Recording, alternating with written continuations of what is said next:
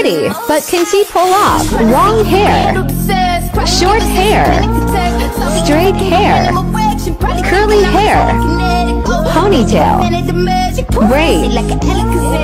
bun,